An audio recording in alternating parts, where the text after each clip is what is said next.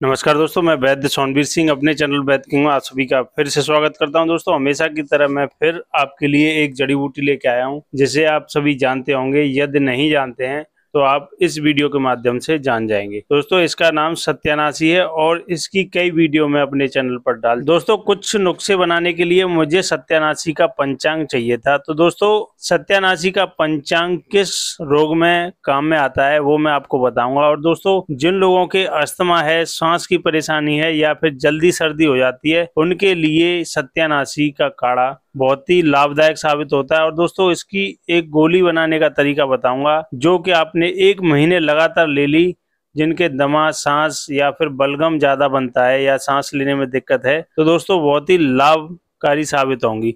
दोस्तों, वो गोली कैसे बनानी है, किस तरीके से बनानी है, उसके लिए आपको वीडियो पूरा देखना होगा। देखते देखते मैं आपको बहुत ही अच्छा नुस्खा बताने जा रहा हूँ और आप उसे ध्यानपूर्वक सुने। तो दोस्तों, इसके लिए करना क्या है कि आपको संपूर्ण पौधा, सत्यानाशी का आपको लेके आना है और संपूर्ण पौधे आपको इतने लेके आने हैं कि इनका रस करीब 500 ml या फिर 500 ग्राम वज़न के हिसाब से निकले।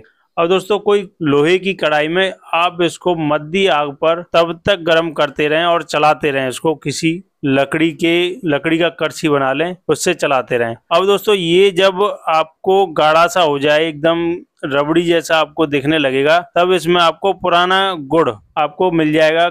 किसी पंसारी से बोलेंगे तो वो आपको दे देगा। पुराना गुड़ आपको 60 ग्राम इसमें डाल देना है। और दोस्तों, वहीं से राल मिलेगी। राल पीस करके आपको इसमें 20 ग्राम मिला देनी है। दोस्तों, एक बात का ध्यान देना है। राल आपको इतनी महीन पीस लेनी है जैसे कि हाथ से फिसले। राल को अच्छे से मिलाने के बाद कढ़ाई को नीचे उतार लें। अब इसको ठंडा होने दें। जब यह ठंडा हो जाए तो दोस्तों, मटर के आकार की गोलियाँ बना करके रख लें। अब यह गोली आपको दिन में तीन बार लेनी है, गाय के दूध से या गर्म जल से। एक गोली सुबह, दोपहर और शाम को। एक बात का विशेष ध्यान दें, ये गोली आपको गुनगुने पानी से लेनी है। दोस्तों, आज के लिए बस इतना ही। आशा करता हूँ मेरे द्वारा दी गई जानकारी आपको अच्छी लगी होगी। यदि आपको अच्छी लगी है तो मेरे चैनल को सब्सक्राइब करें, लाइक करें और शेयर करें।